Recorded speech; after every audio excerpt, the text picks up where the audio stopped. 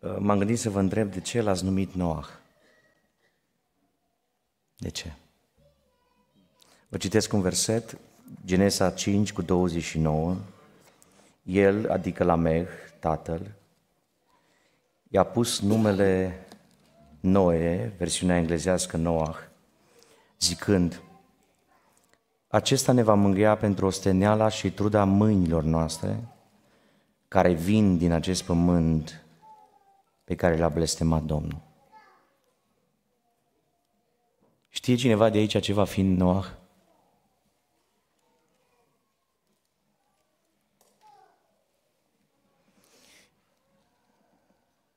Mi-aș dori ce zic să fie profetic.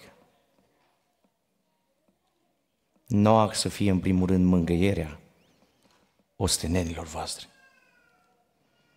Frate Alex, când te întorci acasă ostenit, să-ți iasă în prag, Noah. Și să simți o mânghiere. Vedeți, Duhul Sfânt mângâie prin excelență, dar există oameni care sunt hăruiți să mângâie. După cum voi amândoi ați fost mângâieri pentru părinții voștri și unii dintre părinții voștri numai acum aș dau seama. Și bine ar fi să-și dea seama mai departe, tot mai mult. Și n-ar fi rău să-i vedem îmbrăcați în haine albe. Ați zis amin? Amin. Să fie întâlniți cu Hristos. Să fie schimbați. Ce va fi Noah? Mângâiere în mijlocul ostenelilor. Doi. Ce va fi Noah? Noah va fi minune în mijlocul întristărilor. Mi-a dat voie familia să deconspir un fapt. Băiețelul acesta s-a născut cu o problemă fizică. Este seara în care ne rugăm pentru el. Ne rugăm pentru el. În mijlocul acestei încercări, să știți că există puterea lui Dumnezeu prezentă la Betania. Imaginează-ți că ar fi copilul dumitale.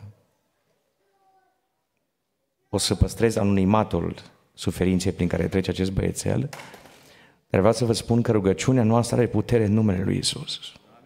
Când am fost la ei acasă, și-au deschis inima. Mi-au descris câteva dintre întrebările care s-au născut în inima lor. Și am asigurat că Biserica Betania este aproape de dumneavoastră, ca mamă, de Alex ca tată. Și credem că Dumnezeu în seara asta are în plan să facă o minune. Noac să fie minune în mijlocul încercării. Când era pronosticat, când era promis, când era profețit potopul, când trebuia să moară toți oamenii. De dimineață se spunea și sublinez. Dumnezeu a zis, vreau să fac o minune prin Noe. Noe să fie minunea lui Dumnezeu. Vedeți, încercările sunt mijloacele prin care Dumnezeu face minuni. Nu ne plac barierele, nu ne convin momentele dificile în viață. Să vreau să spun ceva în seara asta. Minunia se naște în mijlocul unei dureri. În mijlocul unei încercări se produce minunia. Dacă n-ar fi îngăduit Dumnezeu în casa lor, noi n-am fi văzut o minune. Și credem că o să o vedem. Biserica Domnului zice amin. Ce va fi Noah? Mesagerul neprihănirii în mijlocul păcatului.